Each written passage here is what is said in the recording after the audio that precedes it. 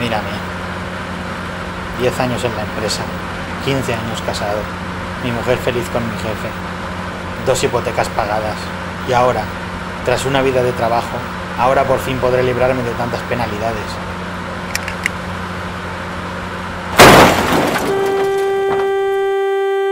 Tanto sacrificio para ser algo en la vida y por fin he llegado a ser lo que soy.